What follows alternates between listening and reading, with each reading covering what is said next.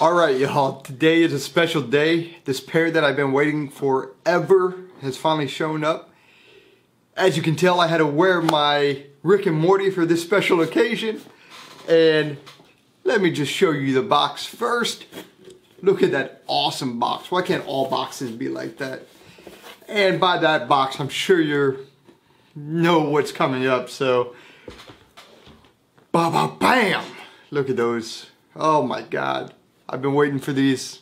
I can't wait to ball in these. I have not balled in these yet. But let's kind of dive into them. I'm going to go over each sneaker because they do have some different aspects to them. And let's start with the green one. So clearly it's super bright. You could take a look at that and see the portal on there. The uh, one for one is on there. Oh my gosh even a little Rick and Morty tag at the bottom. I don't know if the camera's popping out there. The embroidered detail on the side. So I have the red blast that they used vinyl uh, previously. I'm so glad that this is uh, full embroidered now. If you could take a look at the insole, how awesome is that? Pretty nice.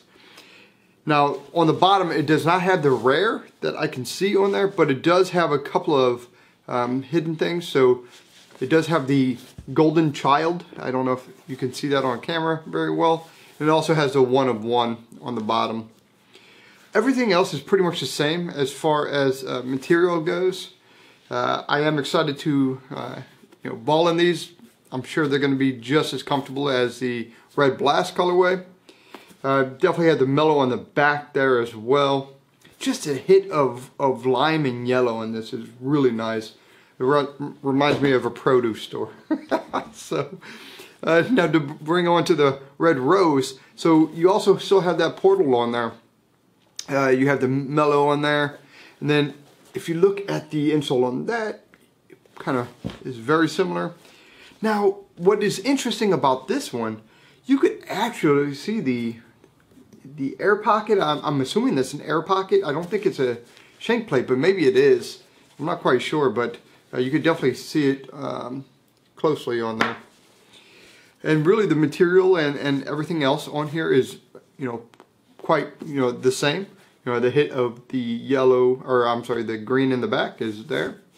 Yeah, it's just overall, I, I am so excited to be finally having these in my hand. I waited for so long. I tried to get these for so long. So I'm glad I have these and I'll ball on them and uh, give you guys a performance review on them as well. So until next time, take care.